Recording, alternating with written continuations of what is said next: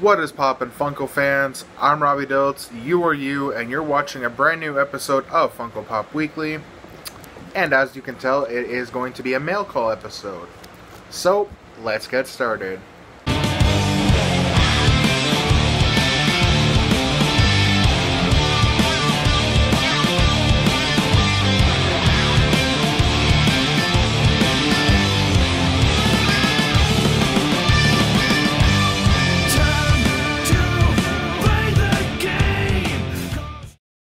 Alright, so as you can tell, we have this box beautifully taped and it is from a giveaway that I won from Funkemon and that's all it says there from Funkemon you got two original Funko fan because that's who I am on Instagram. Um, I did win one of his giveaways on Instagram and so it was out of two pops that I got to choose from um, but one of them was already I guess given away um, well, actually, technically, he had a bunch of pops to choose from. However, I selected uh, two pops, and he already said that one of them was already gone. So he's like, "How about this one?" And so I will be opening the box very carefully with my X-Acto knife. So, yeah, we'll jump right into it. Okay, so first we're going to go ahead and see where there is a nice spot for me to actually start. And there we go. We'll do the side of the box here.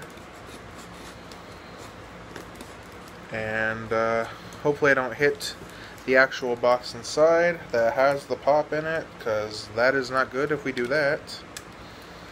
And uh, I already know what the pop is obviously because I selected it, right? So, um, yeah, there's a lot of tape on here, but you can never go wrong with a lot of tape, you know.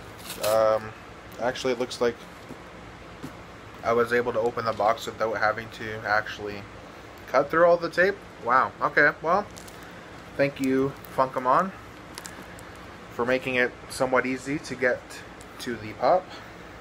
Uh, it's in bubble wrap, which is good, and I might have just kind of almost botched saying bubble wrap, so again, I will say that, but anyways, bubble wrap is always good, protects the pop, so thank you, Funkemon, and uh, wow, I'm already loving this pop, um,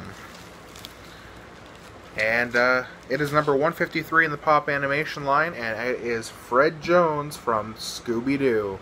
Really great pop. And uh, there's the side of the box here. We'll try not to get too much glare. The side art is just pretty cool as well. It's got the purple background, which I, you know, purple is one of my favorite colors, so pretty cool. There's, you know, the top of the box has his head and the pop logo and uh, very very sweet pop. Love it. Thank you Funkemon so much. Uh, I'm glad to be adding this into my collection. And I'm sorry guys if this is a short episode but I decided that I was going to do an episode of an unboxing for this. Um, well basically not an unboxing where I take Fred out of the box but unboxing from mail call, so to speak. So, again, thank you so much, guys, for watching. Make sure, if you're a new subscriber, to hit the subscribe button and the bell to be notified when I come out with new content. Make sure to smash that like button, as well as give me a comment on what you think about this Fred Funko Pop. I think it is straight fire. Fire, baby. I really love it. Um, I'm a huge Scooby-Doo fan, and I mean, if I could, I want to, you know, try and go ahead and collect, you know, Scooby and Shaggy, and you got Daphne down here, you got Velma. Really great pop. Again, thank you to Funkemon for hosting the Instagram giveaway. And, you know, bubble wrap's always good.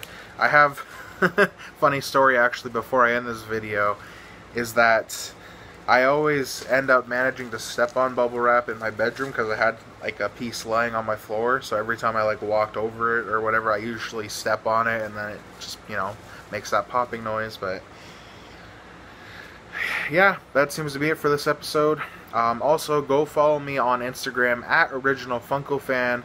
Make sure to follow Funkemon on Instagram. Uh, go subscribe to his YouTube channel if you don't already. His YouTube channel uh, link will be in the description below, as well as his Instagram, as well as my Instagram. Um, you can go check out Funkemon's latest video. And uh, that's it. That's it from me. Until next time, guys, keep on popping.